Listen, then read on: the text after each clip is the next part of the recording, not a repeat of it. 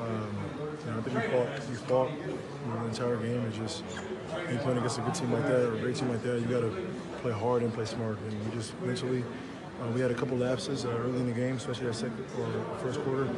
Um, the game open looks, and that was it. So what changed when y'all were able to come back? Y'all scored at 15-4 late. Yeah, we locked in. We locked in and we got stops and we, uh, we knew who we were guarding, we knew who, who we wanted to score. Um, we should have been that way the entire game, but uh, give them credit, they made shots and played well. One thing that's been a consistent issue for the team, even when the injuries up and downs, is the defensive rebounding. Yeah, that's, that's that's me. I gotta I gotta be better at that. But I think as a team, we gotta we gotta rebound the basketball. We're so good once we rebound the basketball and get out in transition, but uh, it makes it difficult no matter who we're playing if we don't and we give the team second chance opportunities.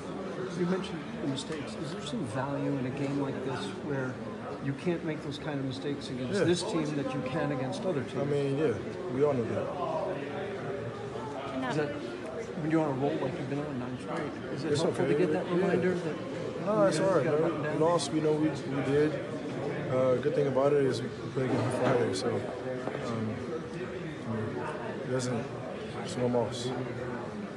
The season, if you guys were down when you were late in that game, that, that might have been an in, inevitable I mean, we're, we're a totally different team. We're a totally different team. We're, we're a resilient team. We made a lot of mistakes, but we're never going to you know, give up.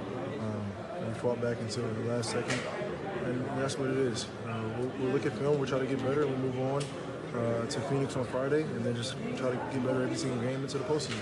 You've talked a lot about this team's identity is never going away, part of that identity now. Yeah. I think defensively, we, I mean, we're still pretty good. Um, I don't know how many points they got, a, a, little bit over 100, which is you know pretty pretty good. Uh, probably one of the best you know in the league. So I guess a, great offensive team. Just one step at a time, we'll be all right. Why was Cousins such a big impact in the second half? He just uh, he was aggressive. He was aggressive, and I mean, you, we all knew that you know Klay, Steph, and, and, and Marcus is going to be aggressive just because KD was out. So um, and they played well. You know, those two guards knocked down shots, and Boogie was um, you know, finishing around the basket and playing, playing aggressive. How much does all this, what y'all did today, what you learned and everything, will help you if, when, if when you see him again in the postseason? we'll, we'll worry about that when it happens. But uh, it was a good. It was a good game for us. Um, we didn't come out with, with the win, but uh, learning experience.